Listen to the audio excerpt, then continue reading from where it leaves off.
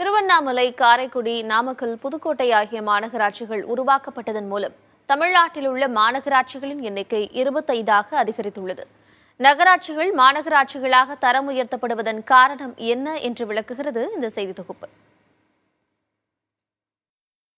கோயில் நகரமாக விளங்கும் திருவண்ணாமலை கல்வி நகரமாக விளங்கும் காரைக்குடி தொழில் நகரமான நாமக்கல் மற்றும் வரலாற்று நகரமாக விளங்கும் புதுக்கோட்டை ஆகியவை மாநகராட்சிகளாக உதயமாகியுள்ளன. இதற்கான ஆணைகளை தமிழ்நாடு முதலமைச்சர் ஸ்டாலின் அந்தந்த நகராட்சிகளின் மாமன்ற தலைவர்களிடம் வழங்கியிருக்கிறார். இதன் மூலம் தமிழ்நாட்டில் உள்ள மாநகராட்சிகளின் எண்ணிக்கை இருபத்தைந்தாக அதிகரித்துள்ளது.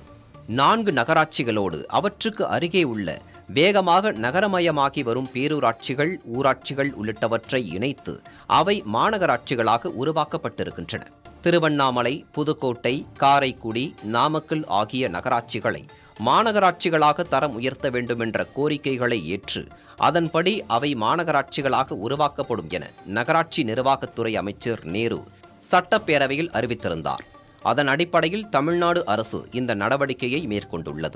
தரமான சாலைகள் பாதுகாக்கப்பட்ட குடிநீர் மின் விளக்குகள் பாதாள சாக்கடை போன்ற அடிப்படை வசதிகளை ஏற்படுத்தி தரும் நோக்கோடு நகராட்சிகள் மாநகராட்சிகளாக தரம் உயர்த்தப்படுகின்றன.